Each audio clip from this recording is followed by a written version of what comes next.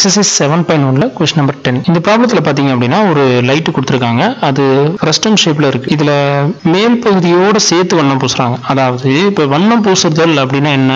இதை பெயிண்ட் அடிக்கிறது அப்படின்னா இதோட வெளிப்பகுதியில் தான் பெயிண்ட் அடிப்பாங்க. அப்படி பார்த்தீங்கன்னா இந்த ஏரியாவில் தான் பெயிண்ட் அடிப்பாங்க. கேர்வ்டு சர்ஃபேஸ் ஏரியா தான் கண்டுபிடிக்கணும். ஏன்னா முதல்ல நம் எவ்வளோ ஏரியாவுக்கு இவங்க வந்து பெயிண்ட் அடிக்கிறாங்க அப்படிங்கிறத நம்ம கண்டுபிடிக்கணும். அதுக்கப்புறம் எக்ஸ்ட்ரா அந்த சம்மில் என்ன சொல்லியிருக்காங்கன்னா மேல் பகுதிக்கும் சேர்த்து வண்ணம் பூசுறதுக்கு எவ்வளோ செலவாகும் அப்படின்னு சொல்லி கேட்டிருக்காங்க. மேல் பகுதினா இதுதான்.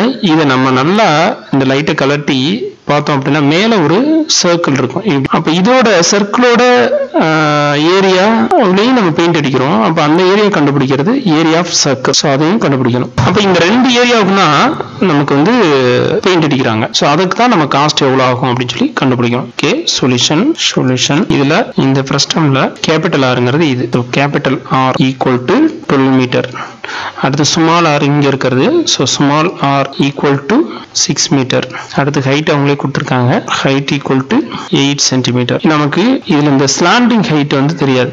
ஹைட்டுங்கிறது இங்கே இருந்து இதுவரையும் உள்ள டிஸ்டன்ஸ் தான் ஹைட் ஆனால் ஸ்லாண்டிங் ஹைட் இது வந்து என்னன்னு தெரியாது. இந்த ஹைட் வந்து நமக்கு என்னன்னு தெரியாது. ஸோ அது கண்டுபிடிக்கணும். அப்போ ஸ்லாண்டிங் ஹைட் எல் கண்டுபிடிக்கிறதுக்கான ஃபார்முலா இருக்கு. ஃப்ரஸ்டமோட எல் கண்டுபிடிக்கிறதுக்கு square root of H square plus R minus R whole square இதுதான் ஃபார்முலா ஸோ இதில் அப்ளை பண்ணீங்கன்னா ரூட் ஆஃப் எயிட் ஸ்கொயர் ஏன்னா ஹச்ங்கிறது எயிட் ஆர் மைனஸ் ஆர் அப்படின்னா twelve minus 6 whole square is equal to 8 square equal to 64 plus 12 minus minus 6 வந்து 6 so 6 square 36 பாத்தீங்கன்னா இதுக்கான answer 100 square root of 100 வரும் 100 க்கு square root எடுத்தீங்கன்னா 10 so 10 மீட்டர் அப்ப பாத்தீங்கன்னா L equal to 10 மீட்டர்னு கண்டுபிடிச்சிருக்கோம் ஏன் L கண்டுபிடிக்கணும் அப்படின்னா curved surface area of frustum of the frustum formula equal to pi R plus R into L இதான் ஃபார்முலா இதில் கேபிட்டல் ஆர் தெரியும் ஸ்மால் r தெரியும். எல் வந்து தெரியாமல் இருந்தது ஸ்டாண்டிங் ஹைட் அந்த ஸ்டாண்டிங் ஹைட் வந்து இப்போ ஃபார்முலா யூஸ் பண்ணி கண்டுபிடிச்சிடணும். ஸோ இதை அப்ளை பண்ணீங்கன்னா twenty two by seven into capital R twelve small ஆருங்கிறது six into ten அப்போ பார்த்தீங்கன்னா twenty two by seven into twelve plus six eighteen into ten இந்த டுவெண்ட்டி டூவையும் டென்னை மல்டிபிள் பண்ணீங்க அப்படின்னா டூ ஹண்ட்ரட் அண்ட் டுவெண்ட்டின்னு வந்துடும் so two hundred and twenty divide by seven into eighteen இதை மல்டிபிள் பண்ணீங்கன்னா இந்த டூ ஹண்ட்ரட் அண்ட் டுவெண்ட்டி எயிட்டீனை மல்டிபிள் பண்ணீங்கன்னா three thousand nine hundred and sixty divide by seven கிடைக்கும். இதை சிம்பிளிஃபை பண்ணோம் அப்படின்னா five hundred and sixty five point seven one metre square கிடைக்கும். இதான் கர்வ் சர்ஃபேஸ் ஏரியா ஃப்ரஸ்டம் ஆனால் இதோட டாப் பார்ட்டையும் சேர்த்து பெயிண்ட் அடிக்கிறாங்க. ஸோ அதனால அதோட ஏரியாவும் நம்ம கண்டுபிடிக்கணும். டாப் பார்ட் அப்படிங்கும்போது மேலே வந்து ஒரு சர்க்கிள் ஃபார்ம் ஆகும். So area of the top part is equal to அதுக்கு வந்து ஃபார்முலா பையார் ஸ்கொயர் ஏன்னா சர்க்கிள் அப்படிங்கிறனால அதோட ஏரியா கண்டுபிடிக்கிறதுக்கு pi R square formula use பண்ணுறோம் twenty two by seven into அங்கே டாப்பில் இருக்கக்கூடிய அந்த லைட்டில் டாப்பில் இருக்கக்கூடிய பார்ட் வந்து ஸ்மால் ஆர் தான் இருக்கும். ஸோ சிக்ஸ் இன்ட்டு சிக்ஸ் இதெல்லாம் மல்டிபிள் பண்ணிங்கன்னா seven hundred ninety two divide by seven வரும். இதை சிம்பிளிஃபை பண்ணோம் அப்படின்னா one hundred and thirteen point one four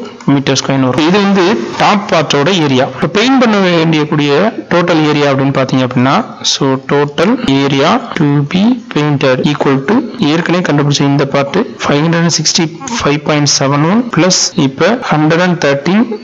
point one four equal meter six hundred and eight point eight five metre square இவ்வளோ part இவ்வளோ ஏரியாவுக்கு வந்து அவங்க பெயிண்ட் பண்ணணும். Cost of painting painting equal to rupees two per metre metre square அப்போ நமக்கு இவ்வளோ பார்ட்டுக்கு paint அடிக்கணும். அப்போ டோட்டல் காஸ்ட் டோட்டல் காஸ்ட் அப்படின்னு பார்த்தீங்கன்னா six hundred and seventy eight point eight five into two இதை மல்டிபிள் பண்ணீங்கன்னா வரக்கூடிய ஆன்சர் தான். டோட்டல் காஸ்ட் வந்து இவ்வளோ செலவாகும் அந்த லைட்டை வந்து பெயிண்ட் பண்ணுறதுக்கு இந்த ப்ராப்ளத்தை பொறுத்தளவு நீங்கள் புரிஞ்சுக்க வேண்டியது என்னன்னா லைட் வந்து ஃபர்ஸ்ட் ஒன் ஷேப்பில் இருக்குது ஸோ அதை பெயிண்ட் பண்ணணும் அப்படின்னா கர்வ்ட் சர்ஃபேஸ் ஏரியா கண்டுபிடிக்கணும்.